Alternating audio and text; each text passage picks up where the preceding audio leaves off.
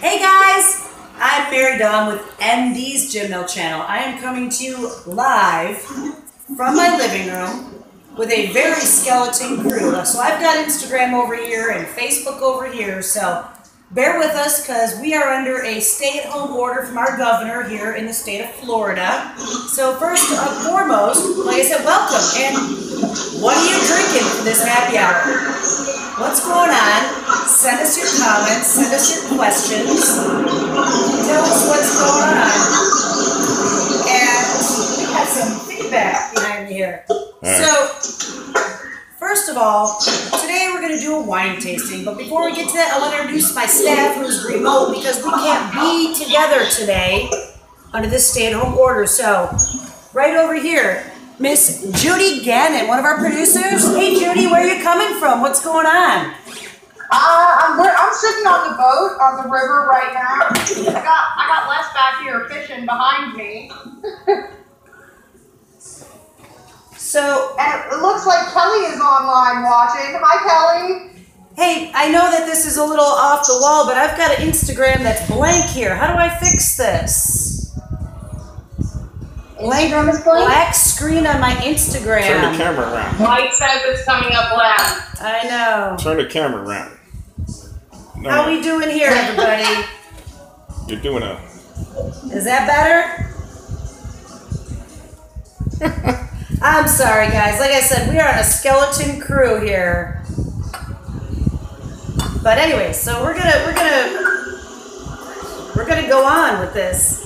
So, Miss Grace Gasparini over here, one of our assistants. What's going on with you? Oh, not a whole lot. Doing the thing. What you been up to? What's going on? Uh, pretty much just attending to this garden behind me. Yeah, tell us Just about random it. stuff around the house. What are you guys drinking? I am drinking today. Let's see if you can see what I'm drinking. I'm drinking some cupcake, uh, Black Forest Decadent Red, which is under ten dollars. That was the rule. Yes, yes. Grace, what are you drinking? Um, I have the rosé of choice. Rose. Which rosé, may I ask? Which one? Um, usually I go with the white Zinfandel. I got you. I got you. Okay, guys. So, like I said, we're coming to you live from my living room. We are in self quarantine, and we've got a lot of people uh, saying they're here with us. We got uh, Jenny. Yeah, we have we have Lila, we have Kelly, we have Lisa, we have Brandy. Cool. All right. We are going to introduce our three wines. And behind me also, the beautiful beach scene you see is coming from uh, Heather Di Lucente, our special guest who's going to be telling us about some wines today. Heather, are you there? I'm here. Ooh, I hey. couldn't hear you because of the waves. Hey, how, coming. how you doing? What are you drinking? I am now bringing our first choice, which is uh, the Ecco Domani. Oh, sweet. Let me, uh, I've got a little red in my hand. So, guys, send us your pictures, send us your comments, tell us what's going on. What are you drinking today? It's Friday. I think it's Friday, isn't it? I'm really not sure anymore because Yeah. we're all It just. is Friday. Okay, good. Thank you. Okay, so we're going to taste the Pinot Grigio Ecco Domani first. So, Heather, tell us tell us about this wine, would you? Well, the Ecco is an Italian wine, very contemporary. Uh, first released in 1996 um, from the northeastern uh, region of Italy, um, which is best known for its Pinot Grigio um, grapes. And also, which MD liked, is also the staging place for the movie Romeo and Juliet. Ah, Nice! I love it. Um, it is the Trevennese uh, region, which, in order to be considered part of that region, it has to be a certain percent of grapes, which um, has to be, I believe, 85% Pinot Grigio, and I believe no more than 15 of the Chardonnay. It smells Um, fruity. and the reason for that region is, uh, it is on, um, the sunny side of the Alps. So it has milder winter and, um, it makes for a very crisp tasting wine and great, uh, obviously. I want to taste this. It smells like strawberries. It smells like Well, it is actually a citrus and floral aroma. Um, it's very crisp, uh, and that has to do with the way it's made.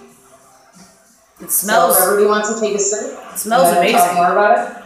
Now these these legs. Hi, Of, Brand, hi, Brandy Jensen. Hi, Michael Doran, all out there watching. hey, Hello, we miss you too. Kevin, hi. Hey guys. Now this this whole legs thing they talk about. What's the deal? I don't see any legs with my white wine. Well, you're gonna see that more with the red.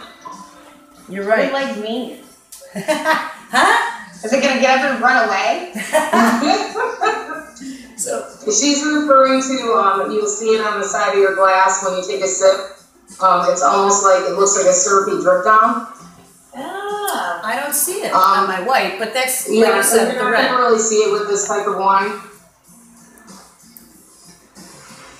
This one to know. tastes. This one sounds But, like um, um, it- it- the, the, the, the term good legs means a, a, a very good wine, a very full bodied wine. I thought that was got to That do with my sense. legs. Oh my god. Seriously, I have a customer. One of my And bars. this wine also co- uh, um, pairs well with uh, your poultry dishes, um, fish, mostly like shrimp, um, or even a light pasta, like uh, a white white pasta. Okay, well, you know what? I like it. It's okay. Not my favorite. So uh, let's have a little red. I love reds. We've drank a lot of reds together, Heather. Love some Are there any questions on this one? No, nobody's asking. No, questions? no questions. Lila's drinking Alka Seltzer right now. Lila. Oh, my favorite. I'll need it after this. That's far right. from wine. This was uh, That is far from wine. this was written in by uh, Brandy Heberlent. She said, "Please review this wine. It's one of her favorites." So we did. It's the Menage a Trois Midnight Red Blend. So we're gonna do that. Now, Heather, if I show up somewhere and I got a cork or I got a screw top, are they gonna make fun of me? What's the deal? Uh, well, if they know what they're talking about, no.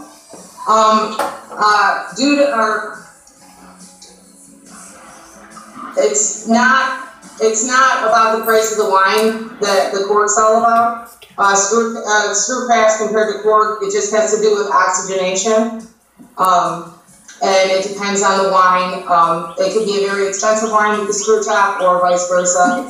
Great Uh, wave. Now, remember, But, um, uh, it, either one has good or bad qualities to it. Like with the cork, you can get what is called cork taint.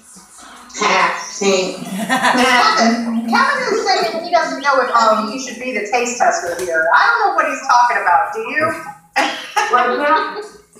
Well, Kevin very well versed in wine. This, all these wines, like I said, are all under ten dollars. I got them all at BJ's. Um, you can, pro, you know, get them anywhere. I do know that this rosé is a little tough to find, so let's let's just stick with the Menage a Trois Midnight Red Blend right now. So I should see some legs here. Let's see if I, I see any legs.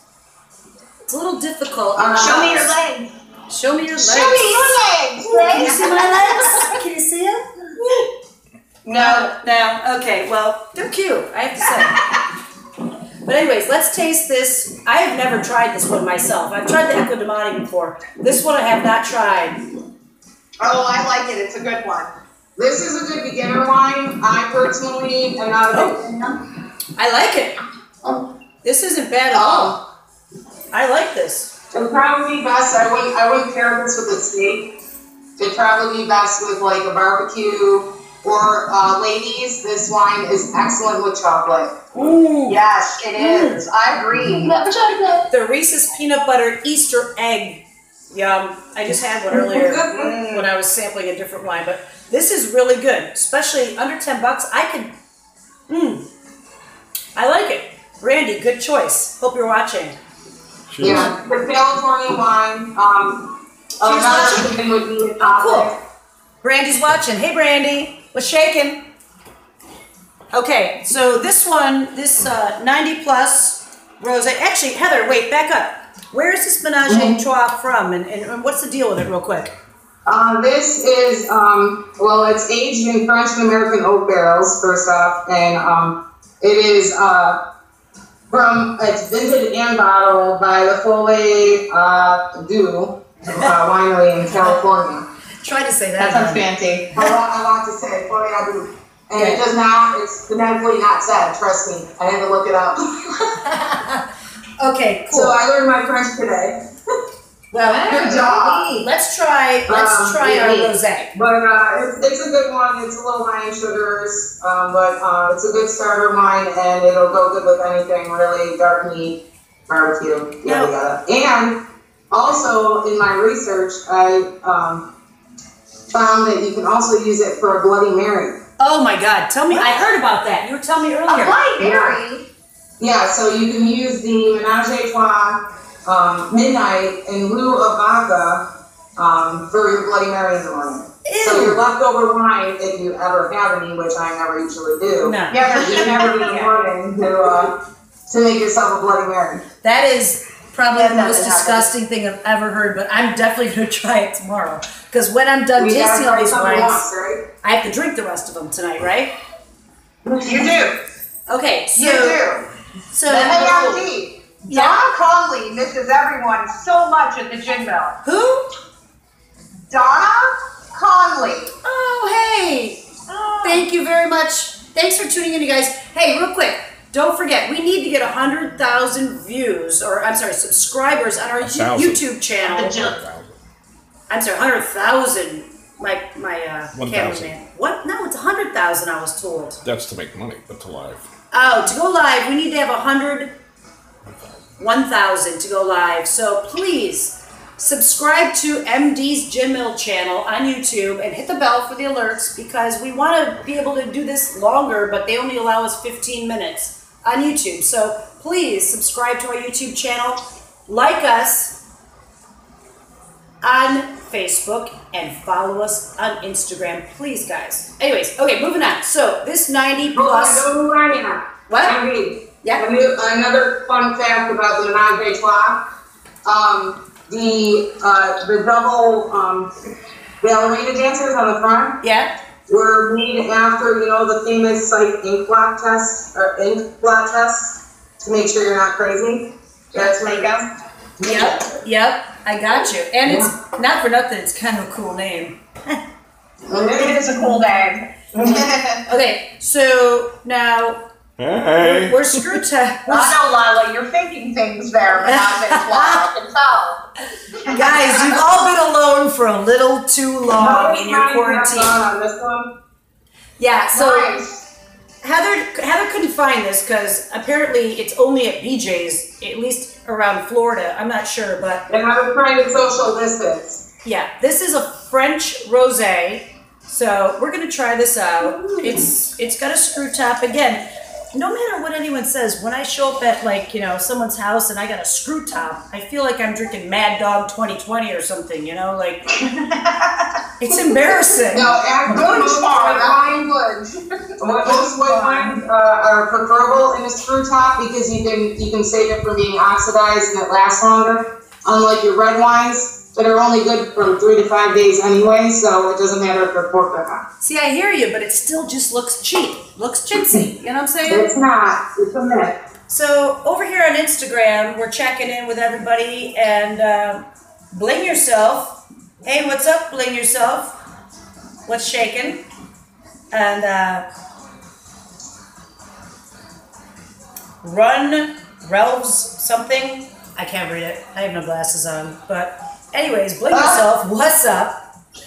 Let's try some rosé. Annie from the gin from the gin mill is watching, and Amanda. Oh, hey guys. What's up, ladies?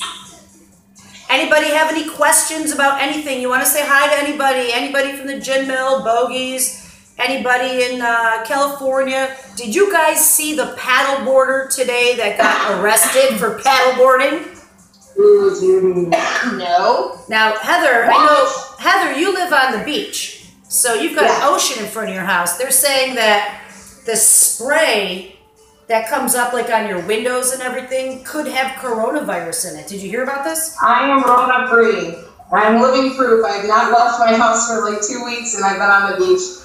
Everything is fine. Okay, good. Well, And plus, we're not really letting a lot of people on there anyway, so. I hear you. Okay, so tell us about this 90 plus Cellars. I know it's from the southeast of France on the Mediterranean Sea. Uh, one of my good friends, Jenny, down in uh, or up in DC, was telling me about this. And you know what this is perfect for? My cameraman Jim, his favorite thing, a charcuterie. Jim, come on, tell us how you say the There's one of charcuterie. favorite words in the world. One of his favorite, the charcuterie. Let's try this out. Let's see. Oh, wait, we do have a question for Heather. Oh, Kevin wants to know, for someone who has not really experienced wine, what would you recommend to try to start with?